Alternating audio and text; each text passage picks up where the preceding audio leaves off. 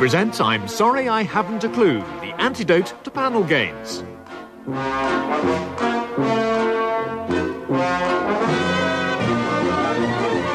At the piano is Colin Sell, and your chairman is Humphrey Lyttelton.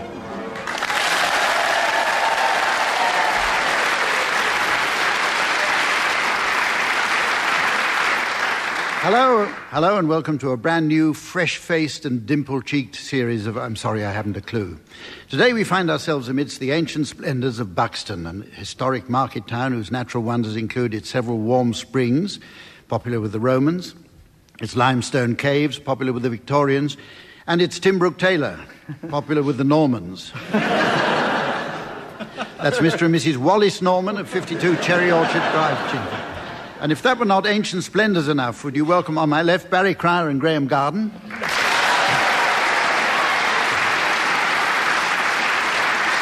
And on my right, Willie Rushton and the Buxtonian himself, Tim Brooke Taylor.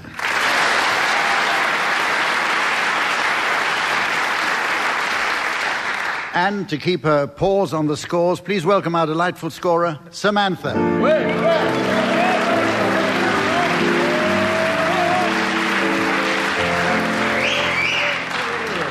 Okay, right. Our first, our first round is entitled Double Feature and takes as its premise the poverty of the film industry in this country.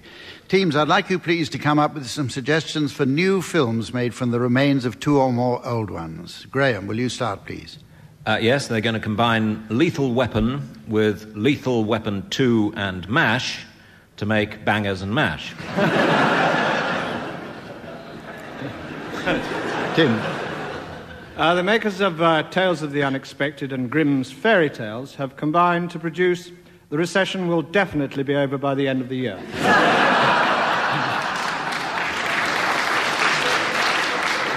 Barry.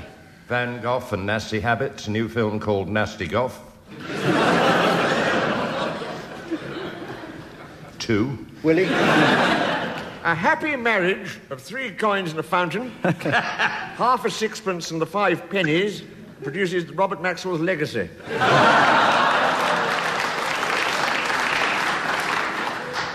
Any more? Yes, they're going to remake Basic Instinct combined with Sex, Lies, and Videotape and call it The Week in Westminster.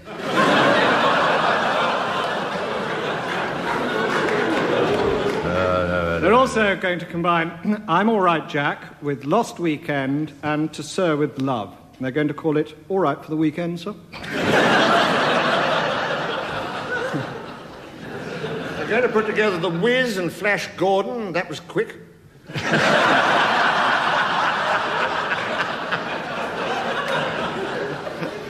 It's got a pre release, hasn't it?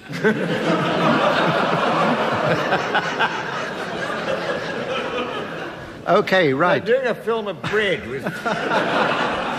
doing a film of bread with Flora Robson and Derek Nimmo. They're going to call it a rather tasteless ham sandwich.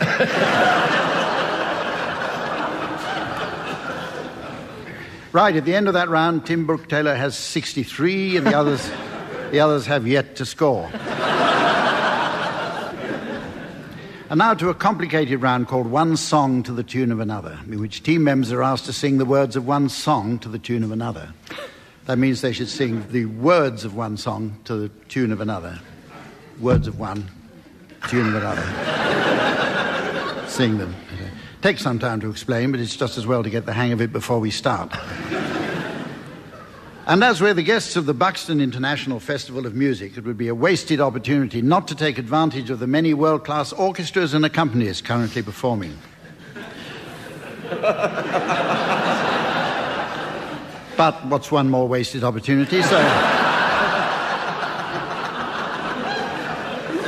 so at the piano, here's Colin Sell.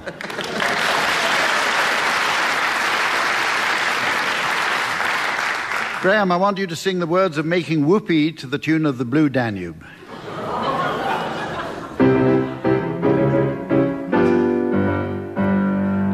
Another bride, another June, another sun, honeymoon, another season, another reason for making whoopee.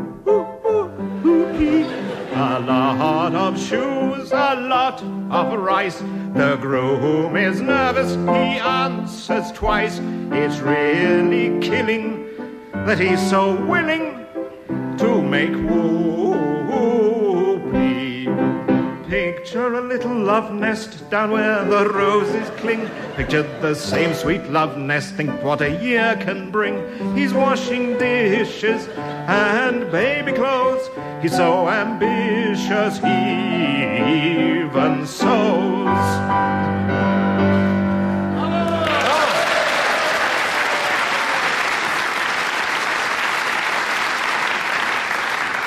Willie, your words are of any old iron to the tune of Climb Every Mountain. You won't notice it. Where's he going?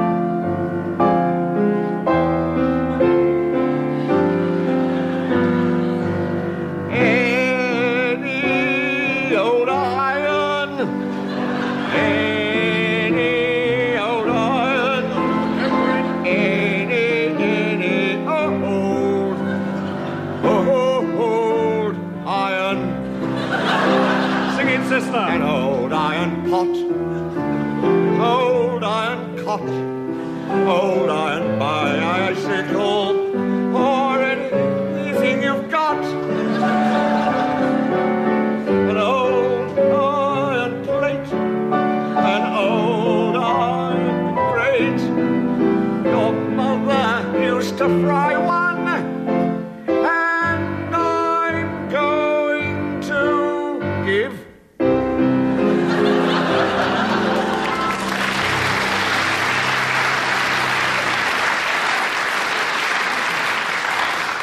Barry, now you're going to sing the words of Elvis's Love Me Tender to the theme tune from The Archers.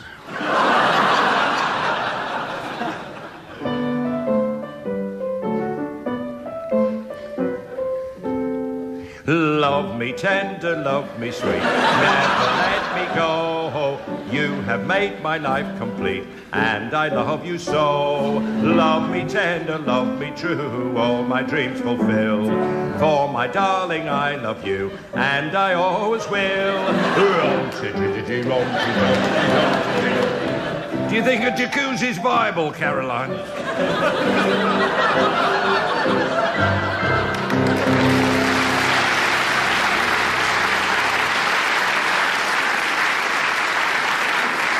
And, and finally, Tim, now you're going to sing the words of One Man Went to Mow to the tune of Je ne regrette rien. One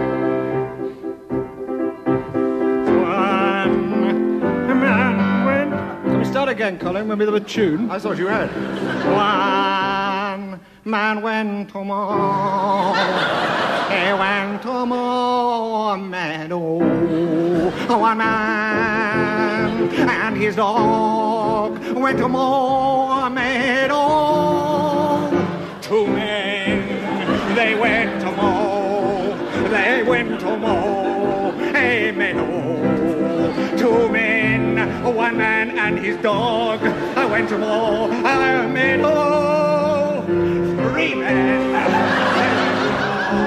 they went to mow a meadow. Hommes, deux hommes, et un, un chien. That's the end of my chanson.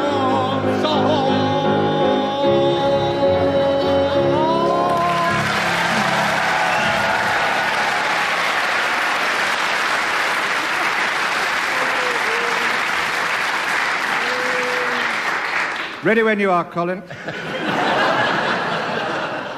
The piano's caught fire. Okay, we're going on to our next round now. It's entitled Sound Charades, and it's similar to the standard version in which players are expected to mime the titles of well known films, plays, books, or TV programs. But in, in our version, uh, panelists are permitted the use of their mouths. right, well, now, uh, Tim and Willie, your charade is going up on our laser scoreboard. And he. And here's the mystery voice to tell you at home. Noises off. Noises off. Right, Tim and Willie, is it a, is it a book, a play, or what? It's a play and a film. A film, yes. How many words? Two. to ah, our knowledge. Two Right. words. Two words. Okay, Barry and Graeme. Well, play and film Start are guessing. Two words. Do you think they should start guessing after we've done it? Yes, that's probably Yeah. a good tip. I'm just um, trying to hurry things along. Okay, we're doing it. It's two words and it's a play and a film. Starting now. And may I say, in conclusion, in conclusion, Mr. Chairman, that my time in Buxton has, has not been wholly wasted. That's enough. The end. Okay, start guessing Barry and Graham. Gone with the wind is more than two words, isn't it? Not if you say it very but it wasn't made long before this recording. No. Um, Is break in this title?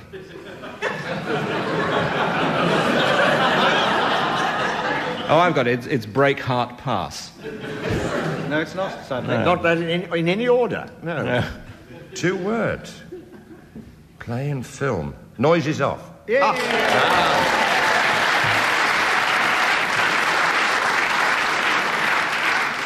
Brilliant. Yeah. Okay, incidentally, audience here in the hall, you can applaud if you think they're getting warm. right, your turn to guess Tim and Willie, but first of all, here's uh, Barry and Graeme's charade coming up on the laser scoreboard. And the mystery voice at home. Fried green tomatoes at the Whistle Stop Cafe. Fried green tomatoes at the Whistle Stop Cafe. What is it, Barry? just, just give us the name, that's all. It's a, it's a film. It's a film. It's a film. And how many words are you going Eight. to say, aren't you? Eight. Thank Eight. you, Graeme. Eight. Large card. I mean, laser display. ah. Waiter. Can I see the menu, please? There we are, sir. Uh, I'll have uh, that.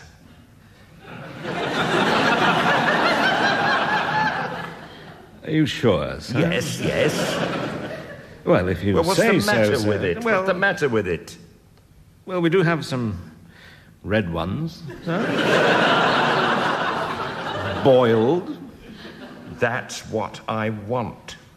All right, sir. And be quick about it. I'm not staying here long. No, not if you have that, you won't, sir. No. The end. Okay, Tim and Willie, guess away. I think Willie's got it, No. but it's curable. Ah, waiter. Now he's obviously something. I wrote a fish called Wanda here, and I realized eight letter, words certainly didn't cover that. I've got to get away quickly or I'm leaving. fast um, departure. Um, Fast departure, yes. fast departure. Yes, yes. Now there's, we've got red ones, which implies there are other coloured ones, which could be. Oh. Uh, black, white, yellow, uh, green. Oh, this is green tomatoes. Uh, at the Full something title, cafe. please. I don't think I've ever known Full the to- title, please. Exactly. Greens. Something like the- Muriel Smith I'm has green cafe. tomatoes at the, At the- leaving fast at the green cafe. Well, in a moment. Pathetic. Two. Pathetic. Two. Something and fried green tomatoes and, At and the, get at the something quick getaway cafe. sad, sad cafe. A fish like Alice. We'd like to give up at this stage. we're being challenged. Near it now. We're hoping Robert. Robinson Nowhere will give us two it. points. Anyway, I forgot to tell you, Tim, that you only have 30 seconds in which to guess. so you were out of time about a quarter of an hour ago. Tell him what it is, uh, Barry. Fried green tomatoes at the Whistle Stop Cafe. What a surprise. I right. know. We're going to hurry on now with a certain amount of re- hurry on with a certain amount of relief to a very demanding round entitled Cheddar Gorge, in which the teams are asked to construct a sentence by each of them uttering one word at a time while taking care not to complete the sentence. In order to complicate it unnecessarily, I shall give each team member a word which they must attempt to include. Barry, here's your word astronaut. Willie, boomerang. Graham, spud you like. and Tim, disestablishmentarianism. okay, Barry, will you start, please? I start. He Was. A Disestablishmentarianism. freak. And nevertheless He Was never knowingly under sold in spud you like.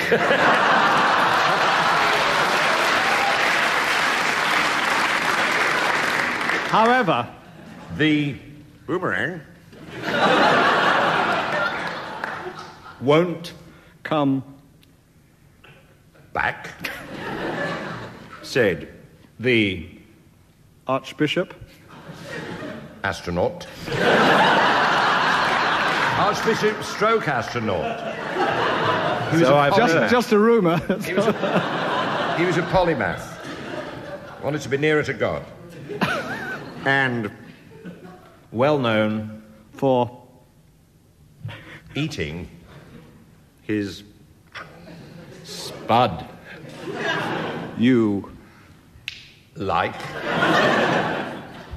in any other. Available. Yet. Inconvenient. Yet. Accessible. Comma. Vehicle. Sounds like the end of a sentence. sounds like the end of a sentence, Oh. and he's on my team. But. Nevertheless, when discussing certain matters never spoke of That's the end of a sentence.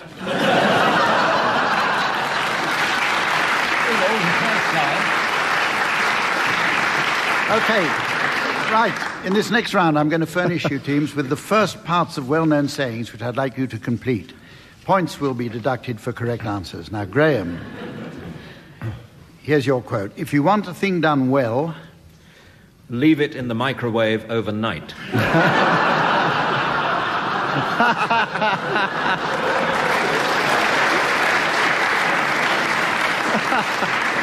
Very true. Tim, here's yours. In Xanadu did Kubla Khan a stately pleasure dome decree. but the council built a car park instead.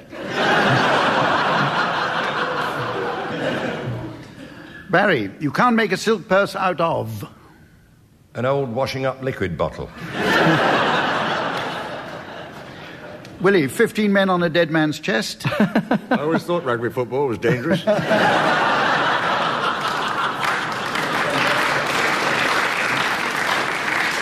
Graeme, frankly, my dear, I don't give a. Discount.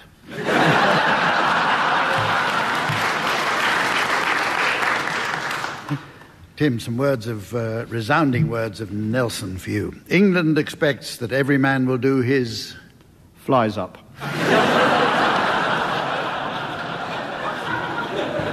Even if they've only got one arm, they still expect. Okay, Barry. Barry, Dr. Livingstone, I presume. No, Jeremy Beadle.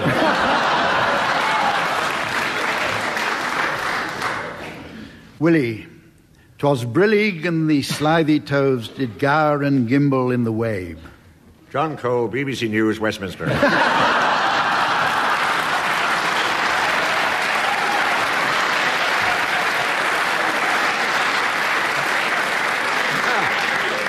Okay.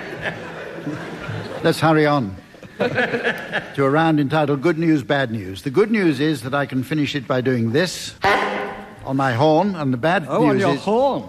And the bad news is that we have to play it at all. The rules are as follows. The rules are as follows. I'll ask someone from one team to announce a piece of good news. A member of the opposing team should then respond by giving the corresponding bad news. So, teams, we'll make a start, but lest you go on for too long, I'd remind you that Samantha's on the lookout and I've got the horn.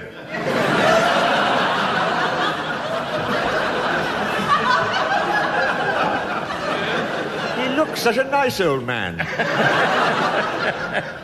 Right, Barry. you They can- always do. Okay, Barry, will you start with the good news? Good news, we've signed up for Maastricht. Bad news, the postcard actually says Miss Strict. Uh, good news. Be fair, she gives French lessons. Bad news. Wrong again. The postcard says she gives fresh lemons. Actually, that's what it says. Good news, don't knock it till you've tried it. Bad news, I've tried it.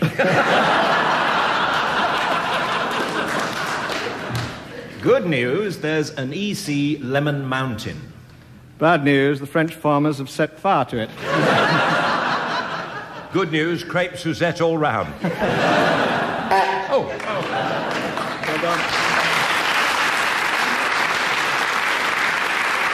Okay, jolly good. Right, Willie, you're going to start now. Good news!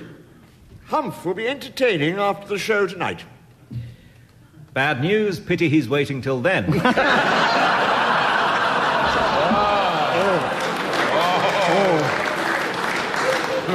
Good news. Samantha's performing with the band. bad news. At this moment.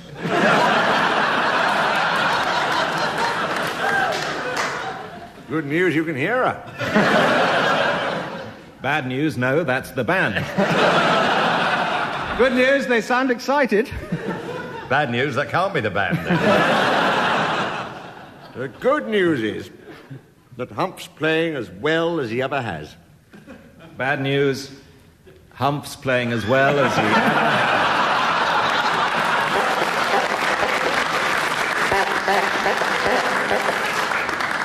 As Well. if to prove it.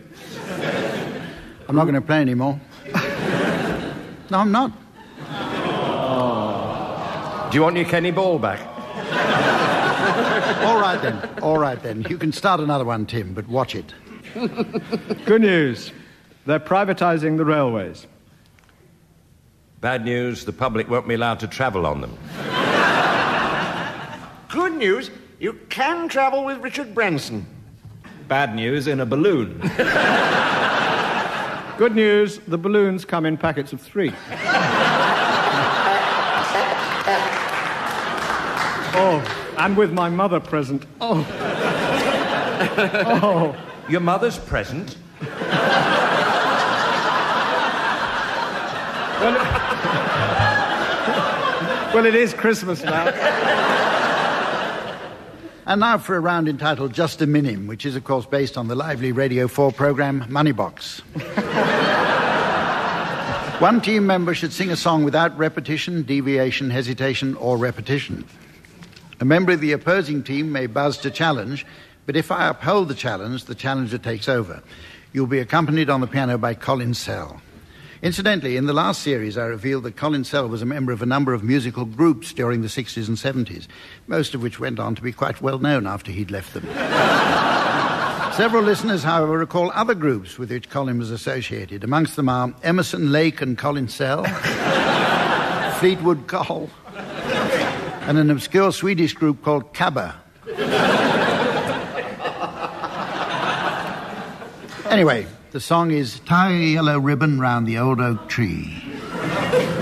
Tie a yellow ribbon round the old oak tree. Okay, let's start with you, Tim. Tie a yellow ribbon round the old oak tree. It's been three long years. Yeah, yeah. Challenge from Graeme by Hesitation.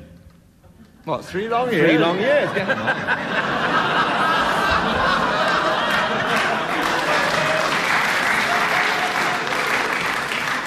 And for that clever challenge, Graeme, it earns you the right to continue the song now. Oh, really? Ah. Do you still need want me if I don't see a ribbon round the old oak tree? Oh, we've had a lot of ribbons. My buzzer's gone. Challenge from Willie, and it hasn't gone. We've had lots of ribbons. Not from had- me, you haven't. Well, yes, well, it Can't doesn't repeat matter. what somebody No, else no, has- we've had ribbon already. What? Can't no, he back. didn't repeat ribbon. Oh, Yes, but it's. Or did he? You can't. I've said ribbon or. Well, I said it. I certainly didn't sing it earlier. What, before the show? Over the last few years, I've, I've, Three long years. yes, I've said it about my typewriter. Oh, the ribbon's gone again. I'm, I might not have said, oh, the yellow ribbon's gone again. Anyway, it's definitely hesitation by now. Do you remember a family at war? Willie, carry on. I'll stay on the bus. Forget about us. Put the blame on me. If I don't see a purple curtain round the old begonia. Round. Challenge from Barry. Was there a repetition of round in there? Yes, I think and old, actually, which I didn't intend to say. I thought I was going to say ancient, but I forgot. It's an interesting technical point that, really speaking, that's a successful challenge, and you should carry on, Barry, but in fact, we've finished.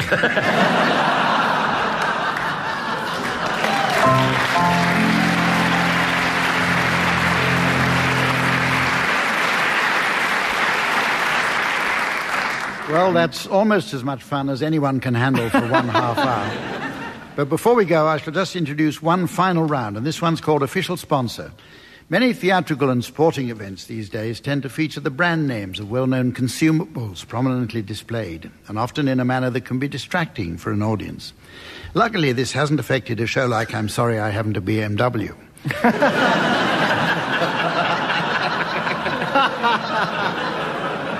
Teams, teams, I'd like you please to suggest some titles of shows or events whose sponsors have been a little too overzealous in their advertising. And I'd like you to start, please. Willie Golden Churton Rushton. All right. Um,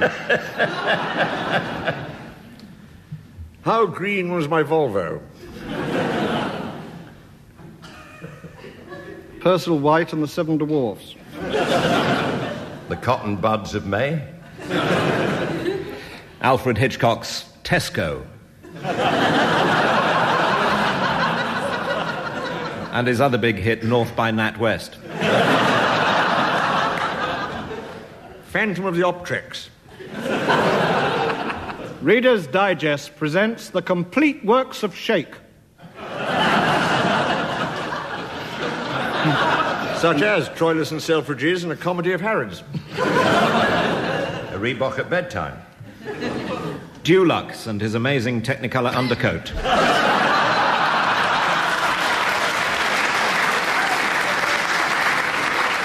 ICI are also doing ICI Claudius.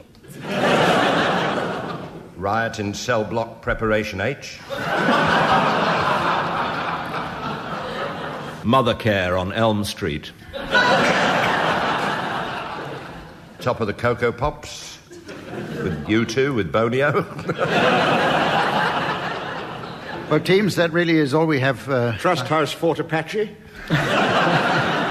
Debenhams Tell No Tales. the weather with John Tetley and Michael Fishfinger? And Andrew Lloyd Webber's Ryvita.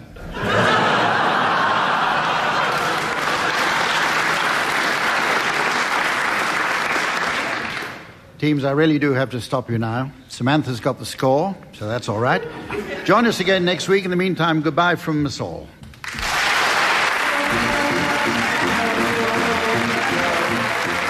Tim Brooke Taylor, Barry Cryer, Graeme Garden, and Willie Rushton were being given silly things to do by Humphrey Lyttelton, with Colin Sell setting some of them to music. The programme was produced by Jon Naismith.